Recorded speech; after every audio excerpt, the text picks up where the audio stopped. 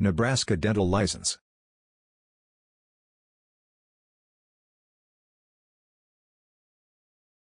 obtain a dental license, you should apply to the Nebraska Board of Dentistry. The application process is straightforward and you will need to take the following steps. Submit proof of graduation with a Doctor of Dental Surgery degree slash a Doctor of Dental Medicine degree from an accredited school or college of dentistry.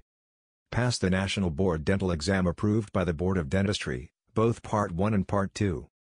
Pass the practical exam administered by the Central Regional Dental Testing Service.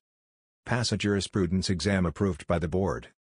If required by the board, submit the proof of continuing clinical competency. As you may already see, becoming a licensed dentist in Nebraska is quite hard. The Board of Dentistry requires applicants to complete courses, graduate from a university, Pass several exams. It may take you several years to be able to apply for the Nebraska dental license. Moreover, you should have one of the following. Doctor of Dental Surgery degree. Doctor of Dental Medicine degree.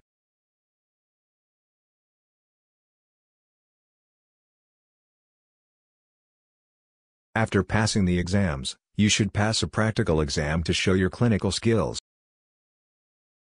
The Nebraska Board of Dentistry has determined ADX will be accepted for dental license applications.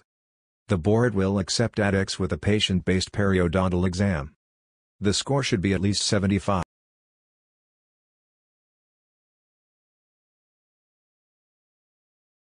The Nebraska Board of Dentistry accepts CDCA.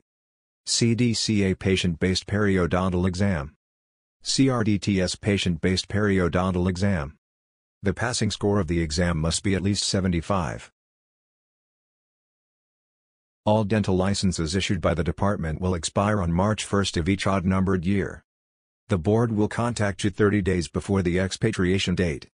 They will send you detailed information on how to renew the license.